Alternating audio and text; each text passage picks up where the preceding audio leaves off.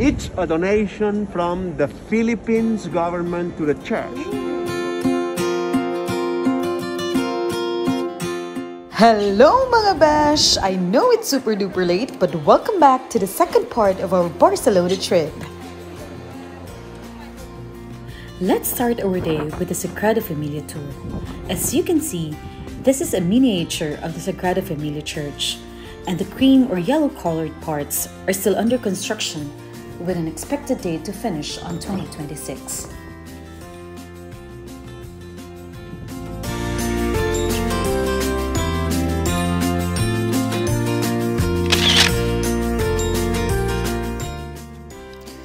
The church will have three grand facades.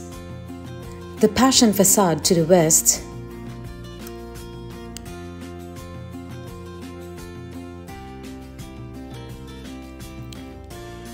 the Nativity facade to the east, and the Glory facade to the south, which is yet to be completed.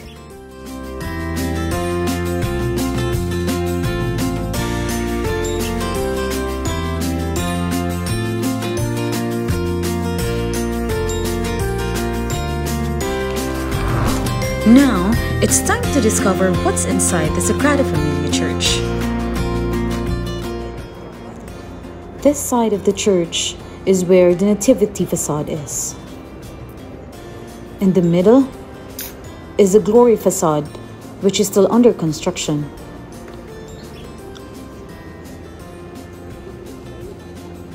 And the other side will be the Passion facade.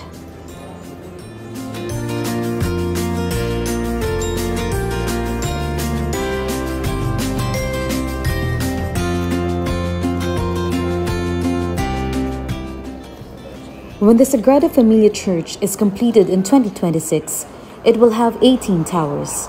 12 of the towers will represent the apostles, 4 of them will represent the evangelists, 1 will be designated for the Virgin Mary, and of course, the last one, the highest one in the middle, will represent Jesus Christ.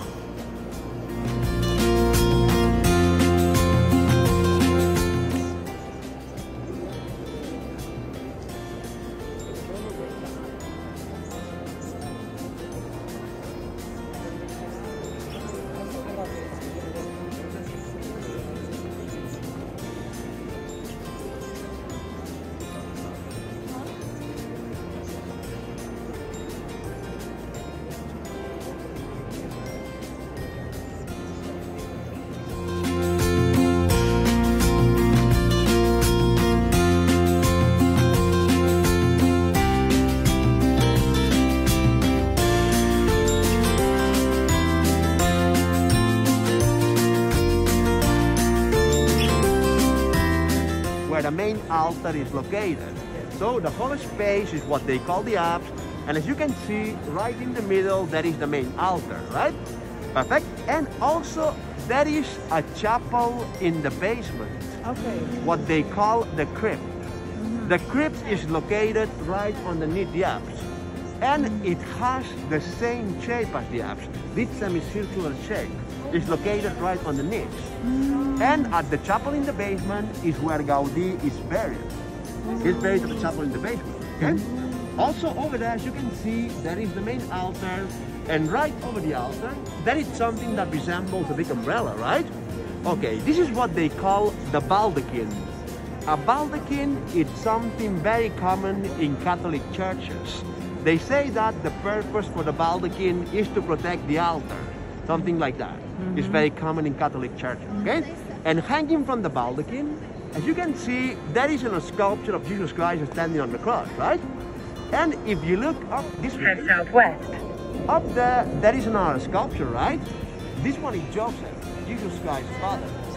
And right on the opposite side of the church, up there, as you can see, there is another sculpture, right?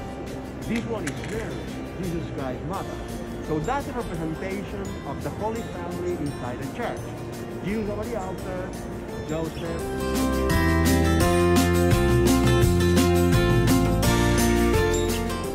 We're now in front of what they call the glory facade. Remember, the glory facade is the one that's dedicated to the moment when after his death and resurrection, Jesus Christ returns back to heaven with his Father, right? And remember also, the glory facade is not finished yet. Remember the model? It was all yellow, right? By now, on the outside, there is only concrete. There's no stone, there are no sculptures, only concrete. But on the outside, there is already a door. As you can see, something is written on the door, right? What is written on the door is the Our Father prayer in Catalan language. This is. The Our Father prayer in Catalan, Catalan, right? Okay, and I'll take a look. Surrounding the whole thing, there are parts of the Our Father prayer also, but written in 50 different languages. So the main one is Catalan, and the other ones around are 50 different languages. There's English, Spanish, German, French, Italian, Chinese, Japanese, 50 different languages. I'll show you where English is. So, 50 different languages, right? And take a look, check that. As you can see, some letters on the door, they are for different color and the rest, right? A and G, right? This is right? These two letters, A and G, are the knobs to open the door. Okay?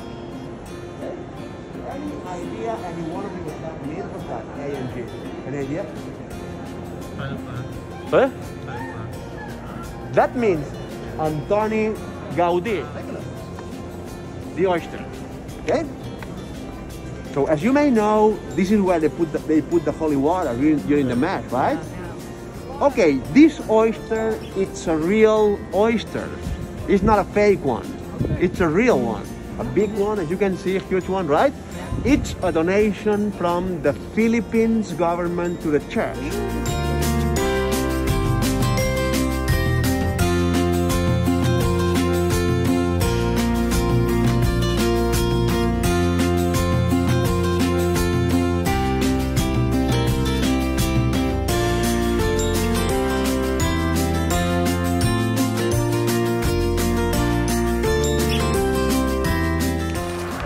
Now let us move on to the Arc de Triomf.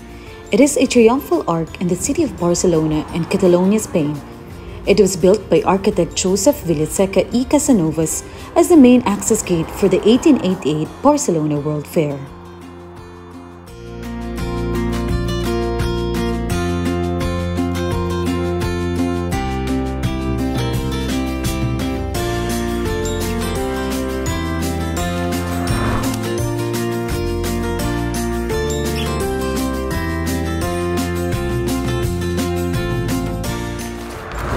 Just a few meters away from the Arc de Triomf is the Ciutadella Park, which is filled with historic sites, including the Castle of the Three Dragons, the famed transsexual Sonia Bandstand, and the Geological Museum, among others.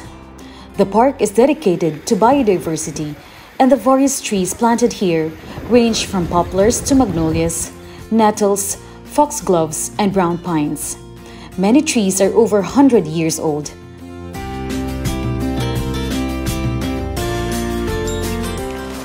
And lastly mga besh, our last stop for today is the Barcelona Cathedral, or also known as the Cathedral of the Holy Cross and Saint Eulalia. It is a Gothic cathedral and seat of the Archbishop of Barcelona, Spain. The cathedral was constructed from the 13th to 15th centuries.